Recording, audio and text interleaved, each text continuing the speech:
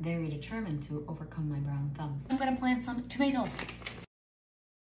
Somehow I've become quite the homesteader. My grandma used to always dry the seeds for tomatoes until one day she realized she doesn't actually need to dry them. She could just slice them and put them into the soil just like that. And I'm hoping that grandma's method is tried and true.